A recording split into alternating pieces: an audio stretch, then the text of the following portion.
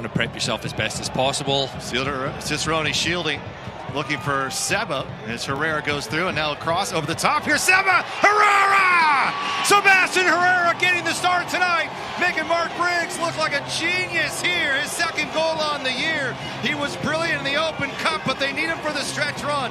And just like that, Sacramento's got the one goal advantage eight minutes in. And it's been a lively start for the Republic, and he is delighted, Sebastian Herrera. That's his job. His job's to come in and to score goals. If you're the striker, you're the number nine, that's what you have to do. And it's a brilliantly worked goal. And they exploit in Emil Cuello's. He's maybe not that left back. Jack Gurr gets him behind him. He's sleeping a bit. What a ball at the back post. Just hangs it up. And Sebastian Herrera slams it home. He is so good in the air. He just hangs and powers